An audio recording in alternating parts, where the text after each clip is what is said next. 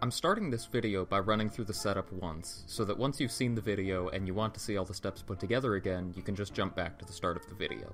Start by rapidly tapping down into the wall as we normally would to try to set up the clip. Once you've started pushing into the wall, start doing single frame down presses. We'll start cycling between two positions. When in the rightmost of those positions, do a one frame pause buffer down, unpause without jumping. Press down and pause after one frame of movement.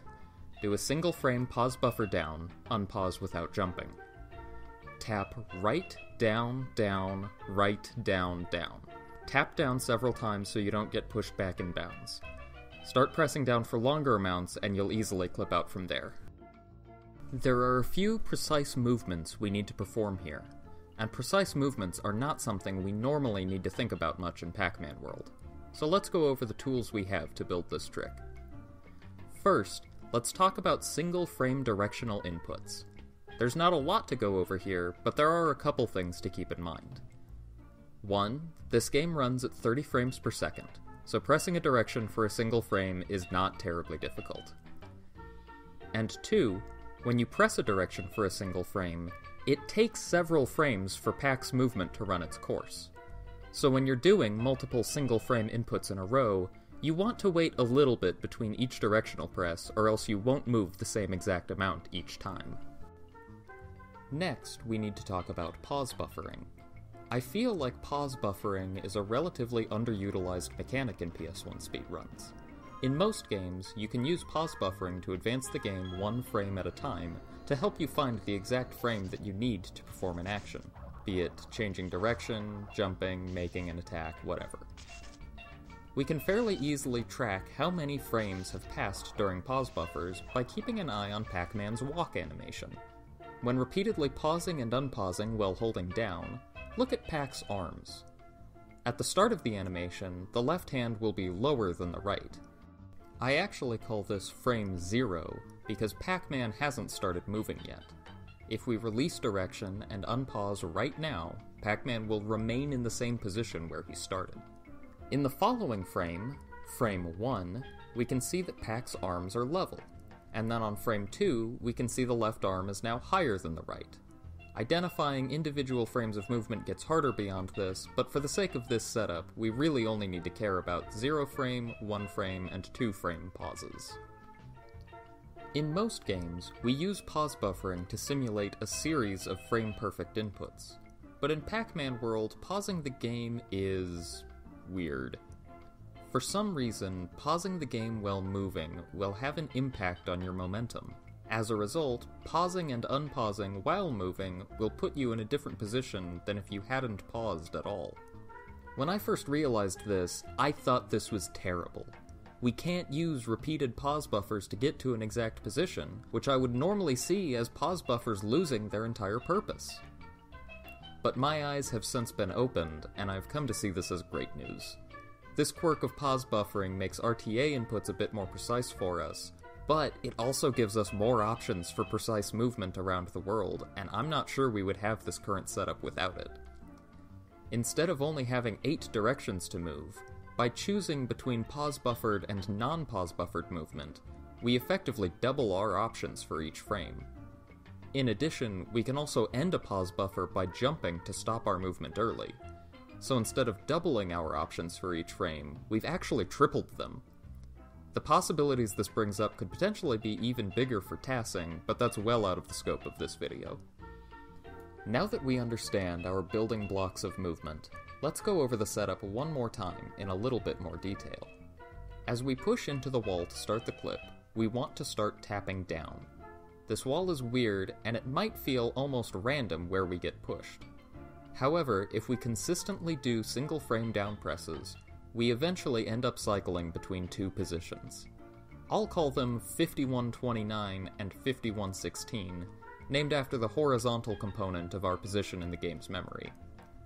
From position 5129, pressing down for one frame will move you to 5116 on the left, and pressing down for one frame again will move us back to 5129 on the right.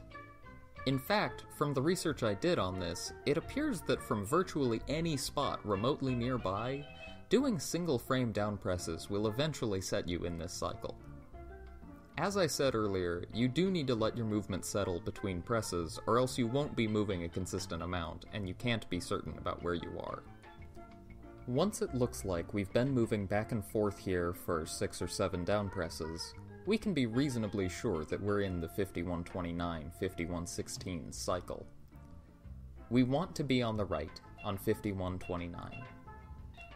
From 5129, a pause buffered down press will move us to 5117 instead of 5116. This may sound like a very minor difference, but it makes all the difference in the world for us.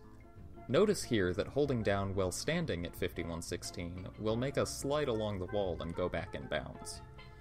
Whereas holding down while standing at 5117 will nearly make us clip already. It won't, sadly, but we just need to make a few adjustments from here to guarantee that clip. To get to our next desired position, 5131, we need to do a little bit more than a pause buffer. We need to press down and pause on the first frame of movement. You can tell that one frame has passed because Pac's arms will be level with each other. Then, while still holding down, we need to pause buffer one more frame of movement. If done correctly, unpausing the game at this point will land us at 5131. Personally, I think going from 5117 to 5131 is the hardest part of this setup. It is so easy to pause buffer for 0 frames instead of 1. If we do a 0 frame pause buffer, that does mess with our momentum enough that we cannot carry on as normal from here. But all is not lost, there is a backup. While the game is still paused after our 0 frame pause buffer, do a zero frame pause buffer while holding right instead of down. End that pause by jumping.